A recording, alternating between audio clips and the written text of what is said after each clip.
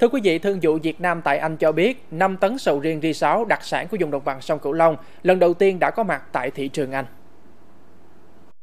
Theo đó, lô hàng sầu riêng ri 6 do công ty TT Meridian của Anh nhập khẩu chính ngạch đã được thông quan vào ngày 4 tháng 5 năm 2023 và được phân phối đến các siêu thị tại Anh. Trước đó, nhiều loại trái cây đặc sản của Việt Nam cũng đã có mặt tại thị trường của Anh như giải thiều Bắc Giang, bưởi đỏ Tân Lạc và bưởi diễn Yên Thủy, cam Cao Phong của tỉnh Hòa Bình. Để mở rộng cơ hội xuất khẩu vào thị trường Anh, tham tán công sứ Thương vụ Việt Nam tại Anh đưa ra khuyến nghị doanh nghiệp xuất khẩu cần có chiến lược marketing, nhất là tiếp thị kỹ thuật số để giới thiệu các loại trái cây đặc sản này tới người tiêu dùng Anh. Bởi đây là xu hướng của thế giới mà doanh nghiệp Việt Nam cần áp dụng càng sớm càng tốt tại một thị trường phát triển như Anh với khoảng cách địa lý khá xa Việt Nam.